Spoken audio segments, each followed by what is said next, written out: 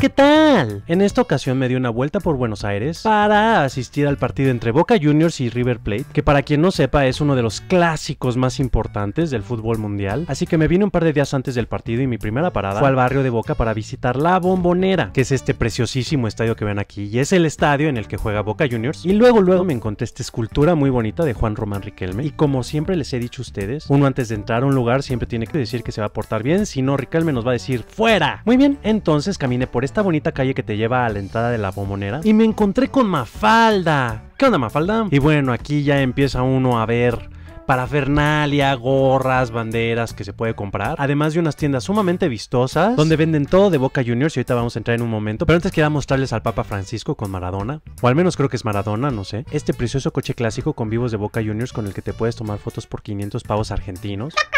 Y ahora sí estamos dentro de esta tiendita donde nos recibe la Copa Libertadores, una réplica. Y vean nada más. El Mesías, el mismísimo Lionel Messi, héroe de propios extraños, salvaguardando la tienda. Esta escultura protege al recinto, pero no solo él, mira nada más. ¿A quién me encontré aquí? Nada menos que al 10 de 10 llegó Armando Maradona y por si fuera poco acompañado del Che Guevara también me encontré este precioso perrito. ¡Uy, qué bonito, qué bonito! Y ahora sí, como en este canal también se viene a aprender, nos vamos a meter al Museo de la Pasión Boquense, que está aquí mismo dentro del estadio. Para llegar al museo tenemos que cruzar por la tienda oficial de Boca Juniors y al fondo a la derecha ya por fin llegamos al museo en el que en el suelo te indica por dónde tienes que circular y eres recibido por estas imágenes del equipo de Boca Juniors quienes te están haciendo un pasillo hacia la entrada, como se dice en el argot canchero, y de inmediato las señales en el suelo te guían por por una escalera hacia el piso de arriba, desde donde puedes avistar algunas de las playeras históricas de Boca Juniors. Por ejemplo, esas dos que se ven allá arriba a la izquierda son las de 1905, por ejemplo. Seguimos el camino hacia arriba de estas escaleras hasta que llegamos a esta sección que la verdad a mí me encantó, me fascinó, donde hay esta especie de esferas, balones, en las que te dan datos e imágenes de los campeonatos más relevantes. Por ejemplo, aquí está el 2003, que ganaron la Copa Libertadores, la del 2007, donde ganaron la sexta contra el gremio de Brasil, cuando ganaron la Copa Intercontinental Ahí vemos a Guillermo Barros Esqueloto, Carlitos Tevez, Carlos Bianchi. Y luego llegamos a lo sabroso. Y es que aquí están los trofeos, las copas que ha ganado Boca Juniors en su historia. Como referencia, Boca Juniors es el segundo equipo con más campeonatos argentinos, solo por debajo de River Plate. Y hasta el momento tiene seis Copas Libertadores, solo por debajo de Independiente, que hasta el momento tiene siete. Pero ver una Copa de Libertadores así de cerca, como lo están viendo ustedes, es en verdad abrumador. Me encantó, la verdad. Además, un detalle muy bonito que tiene este trofeo es que tiene tiene las placas de cada Copa Libertadores que ganó Boca Juniors, la del 77, 78, 2000, 2001, 2003 y 2007. Y como pueden apreciar es una instalación bastante bonita. Y bueno, ya recorriendo este espacio subimos a unas escaleras donde ya nada más está como una cafetería del estadio, en donde puedes degustar una deliciosa hamburguesa, papas, te tomas un refresquito mientras ves el celular, como estas personas. Y también hay estas ventanas que dan no a la cancha, sino a las tribunas. Pero bueno, lo que se me hizo muy curioso es que ya se ve aquí a los trabajadores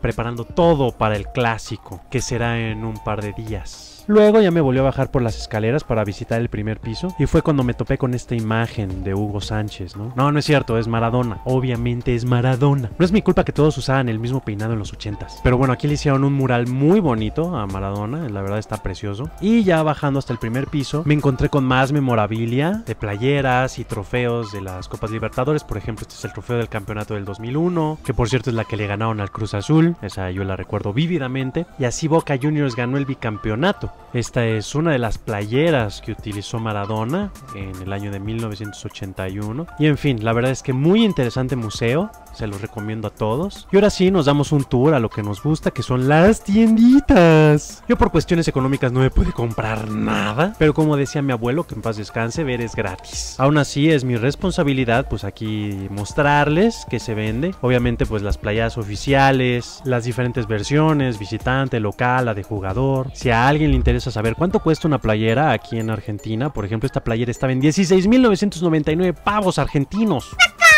Lo cual era alrededor de 2.400 pavos mexicanos. Pero la conversión en Argentina tiene su gracia, ya les contaré más sobre esto en mi próximo video. Lo que sí les puedo decir es que las playas estaban increíbles, nada más vean esta, era una playera auténtica versión jugador y hasta tenía sus parches, no, no, qué bárbaro. En fin, que bueno, terminando mi tour en el bonito estadio de la bombonera, me salí a la calle así como para empaparme más de la atmósfera futbolera que hay en los alrededores. Miren nada más estas esculturas y no crean que me alejé mucho, ¿eh? Esto está justo enfrente del estadio. Aquí otra bonita escultura de Carlos Tevez, otra imagen de Riquelme, aquí otra escultura de Juan Román Riquelme con la entrada del estadio ahí en el fondo. Y bueno, díganle adiós y hasta pronto porque ya agarramos nuestro camioncito porque ahora nos vamos a ir al otro lado de la ciudad, específicamente al barrio de Núñez, porque ahora vamos a visitar el estadio del eterno rival, River Plate, y aquí ya nos acercamos al estadio Monumental, que bueno, ahora se llama Más Monumental. La verdad es que yo siempre lo conocí como el Monumental, pero ahora se llama el Más Monumental por cuestiones de patrocinio. Para los más metiches, bueno, Más es una marca de supermercados que hizo una alianza económica con River Plate y en el acuerdo está el nombre del estadio. Bueno, aquí ya estamos caminando hacia la bonita entrada al museo de River Plate,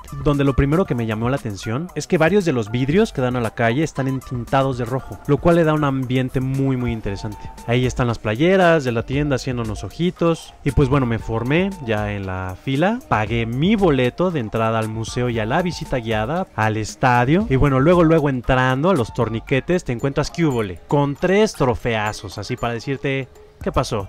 ¿Qué pasó? Aquí también tenemos de birria, ¿cómo no? Luego subí por estas escaleras que honestamente no delatan lo extraordinario que estás por ver. Y es que en verdad me sorprendió.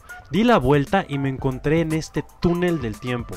Y es que en serio es un túnel del tiempo. La idea que se me hizo sinceramente una genialidad es que tú vas caminando por estos años que están en el suelo y te vas topando con estos cuartos que abordan un periodo, una época en el tiempo. Entonces, por ejemplo, ahorita estamos en los 20 y te dan datos relevantes del club, que aquí ganó un campeonato y luego nos vamos a los años 30 y fíjense, no solo nos dan datos e información del club, sino que prepararon toda una instalación en la que te muestran lo que era relevante o estaba sucediendo en esa época. Por ejemplo, aquí hacen una especie de réplica del camerino de Carlos Gardel, quien es uno de los mayores exponentes en la historia del tango argentino. Luego llegamos a los años 40 y entonces ¿qué nos encontramos? Pues que por ejemplo hay una figura de Mickey Mouse, del ratón Miguelito. Luego me dirigí a los años 50 y entonces te encuentras con memorabilia de Eva Perón, e incluso hasta productos que usaba la gente en ese momento. También está este auto de carreras, pero la verdad es que no sé por qué está aquí. Si alguien sabe, díganmelo en los comentarios. Y bueno, los 50 fueron una de las épocas más triunfales en la historia de River Plate. Seguimos el sorprendente techo conformado de estrellas y llegamos a los años 70 donde igual te muestran una muy bonita instalación de todos los campeonatos que ganó el River Plate pero lo que me encantó es que reprodujeron un puesto de periódicos de 1978, que fue el año en el que Argentina ganó su primer Copa del Mundo. Y aquí te muestran varias de las portadas de revistas y periódicos, pero también está Topollillo y Mafalda. Ahí también estaba Gauchito, que era la mascota del Mundial de Argentina. Y aquí ya me voy aproximando a mi edad y entramos a los años 80. Disco. Los 80 fueron otra época dorada de River Plate.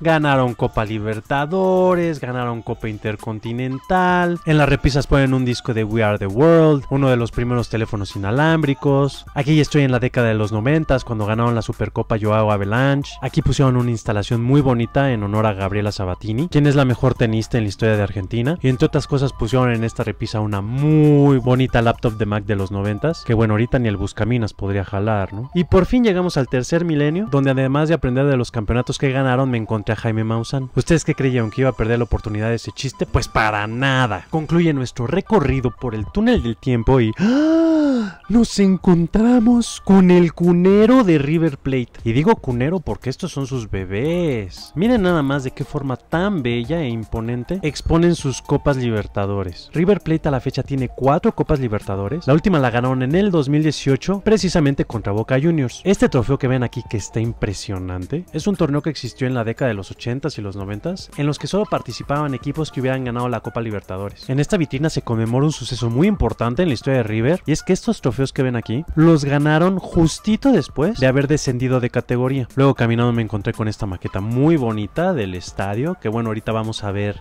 en vivo color. Estos botines conmemoran a los goleadores del equipo. Y bueno, ya fuera de esta zona está este muy muy bonito mural donde te muestran la evolución del escudo del equipo River Plate desde sus inicios hasta el que está en estos momentos. Bajando al primer piso me encontré con estas muy bonitas instalaciones de playeras históricas. Aquí está la de Enzo Francescoli. Esto nada más es una embarradita, hay mucho más. La verdad es que sí vale mucho la pena venir a este estadio como el de Boca Juniors. Yo nada más estoy mostrando una probadita de todo lo que pueden encontrar aquí, que la verdad es que es un testamento a la grandeza de este equipo, así como el de Boca Juniors. Esta, por ejemplo, es una, supongo que es una réplica porque no está protegida ni nada, pero que conmemora el último campeonato de Copa Libertadores. Ahora sí, vámonos a la visita al interior del estadio, en el que hay un muy bonito tren. Nos llevaron por este pasillo donde hay una especie de taquillero. Y ahora sí, Miren nada más. El monumental sonriéndonos. Las guías, quienes eran sumamente amables, nos llevaron por estas escaleras hasta que por fin llegamos a la zona de tribunas y miren nada más. Bienvenidos sean ustedes a la Catedral de River Plate. No solo eso, sino este estadio es sumamente importante porque aquí Argentina ganó su primer Copa del Mundo. Aquí se enfrentaron Argentina contra Holanda el 25 de junio de 1978 y Argentina ganó 3-1. La guía nos explicó datos interesantes, entre otras cosas, que ya desde hace varios años, por seguridad, no se permite el ingreso a aficionados contrincantes durante los partidos. Me gustó mucho la visita, se la súper recomiendo. Y ahora sí, a la tiendita, mis chavos. La tienda, al igual que todo el museo, se me hizo sumamente fina. Si alguien está gustoso de saber cuánto costaban las playeras, estaban en 28.999 pavos argentinos. Pero además aquí también te venden la tierra de la cancha, un pedazo de la pista. Y ahora sí, lo que estaban esperando, vámonos de volada al otro lado de la ciudad porque es momento de irnos al clásico vámonos al Boca River. Así que agarré mi Uber para irnos al barrio de Boca. Y a ver, les voy a dar alguna referencia sin afán de ofender a nadie. Para quien no sepa, el barrio de Boca en Buenos Aires es uno de los barrios que tiene la fama de ser más o menos inseguro. Pero vamos, nada que no tengamos en ninguno de nuestros países. El Uber me dejó varias cuadras lejos del estadio, simplemente porque todo a la redonda de la bombonera lo cierran. Entonces lo que yo hice es bajarme y caminar por varios retenes policiales. Hay mucha seguridad por todas partes, pero en serio mucha. De hecho aquí me tuve que ir por otro lado porque aventaba un gas lacrimógeno. Y mientras yo estaba grabando, así me ardían los ojos y la nariz. Fue una experiencia bastante interesante. Pero o sea, nada más fue una cuadra, no crean que fue todo el trayecto. Caminar por estas calles donde en verdad se transpira la pasión por Boca Juniors fue algo estremecedor. Y algo que les tengo que decir es que en sí no existen boletos para entrar a un partido de Boca River. Lo que existen son esas credenciales. Tú tienes que ser socio de Boca Juniors y con eso vas a tener la posibilidad de pagar anualmente un abono por los asientos. Entonces la única forma en la que puedes ingresar es que alguien que tenga un asiento libre te invite o te lo cobre. Así yo le hice y de hecho la policía en uno de estos retenes me detuvo, ya que al estar pasando por uno de los retenes de seguridad se dieron cuenta que el carnet no estaba mi nombre. Sí fueron como 15 minutos de mucho estrés en los que me tenían ahí formado junto con unos sospechosos que pues igual. Fue hasta que llegaron por mí los que me invitaron, que ya por fin la policía me soltó y todo muy bien. Y ahora sí pude disfrutar de estar acercándome a uno de los sueños de mi vida, que es ir un Boca River. Muchos podrán llegar a creer que venir a un Boca River, sobre todo aquí a la bombonera, es casi casi como un deporte extremo o de alto riesgo. Yo les puedo decir que la verdad es que no, hay muchos niños, hay mucha seguridad y bueno, salvo que siempre hay riesgos, el ambiente no es denso para nada. De hecho yo estaba ahí todo así, ah, con mi camarita, porque en serio, el ambiente es muy muy familiar. Ahora sí que se podría decir que esto es una celebración a la vida. Entre los que te atienden, los aficionados, en verdad se hace como una atmósfera de fraternidad, todos están unidos, cantando. Así que por fin ya llegué a la última etapa en la que es entrar al estadio, ahora sí propiamente, y cuando se prendió ese foquito verde y que ya me dejaron pasar fue así de, ¡ah! ¡Por fin!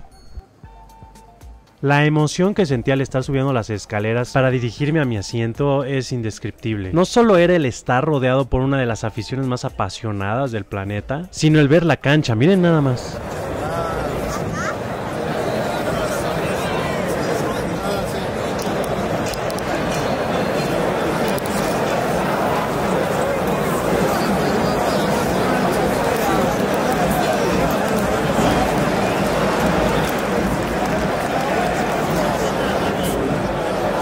El lugar en el que me tocó la verdad es que es extremadamente bueno. Al principio estaba literalmente en el centro y luego ya durante el partido me fui más a la derecha. Pero este estadio tiene una isóptica, o sea, se ve bien desde todos lados, desde donde tú estés. Y la afición, qué bárbaro. O sea, faltaba todavía una hora para que iniciara el encuentro y ya todos estaban brincando, cantando. Esto era una fiesta.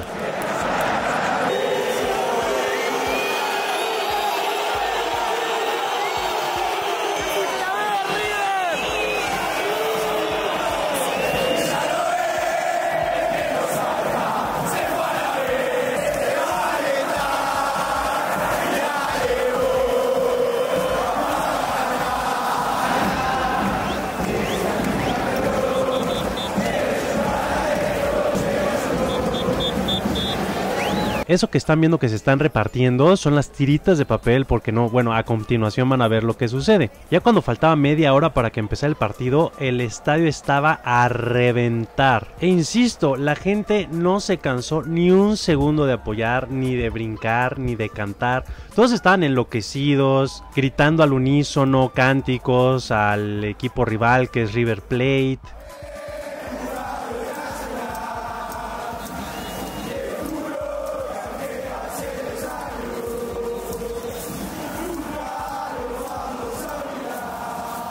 Y de repente empiezan a aventar una cantidad de papel al aire que yo dije, ¿qué está pasando?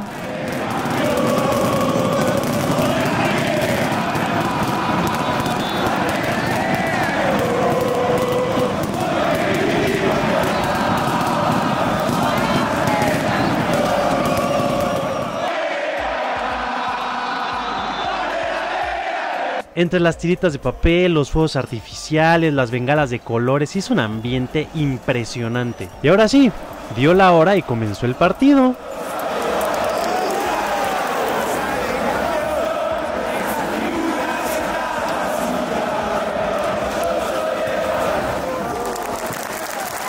El juego comenzó con un extraordinario ritmo. De hecho, la primera oportunidad de gol fue al minuto 1. Y bueno, fue pasando el tiempo y la verdad es que ni Boca, ni River, ni la afición bajaron la intensidad.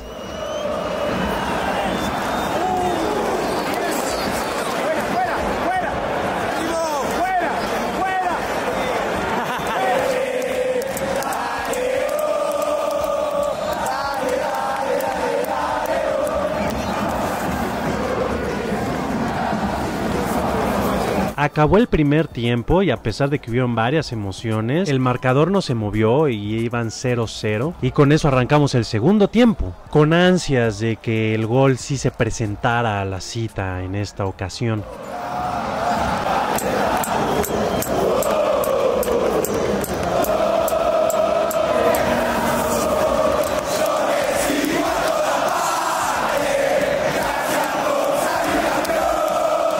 Y en eso, en un tiro de esquina que cae el gol de Boca.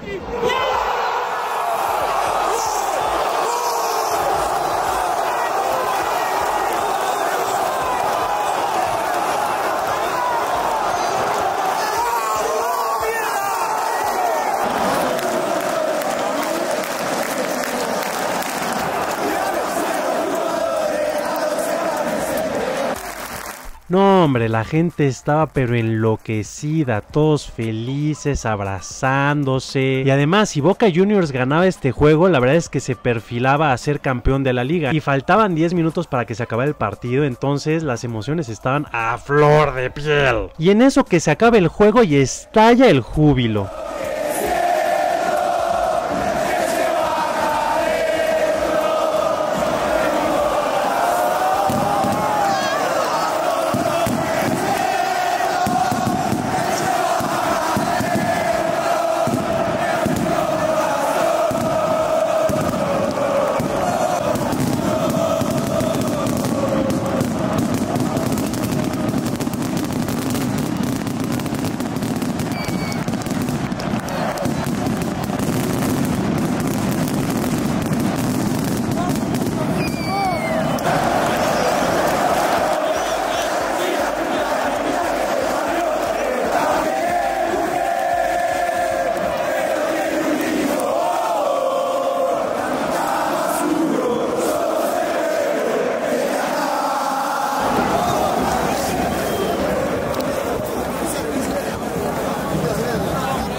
Bueno, ahora ya con el juego terminado era tiempo de salir del estadio que se antojaba como otra aventura más. Y es que la fiesta no terminó, parecía que apenas estaba comenzando.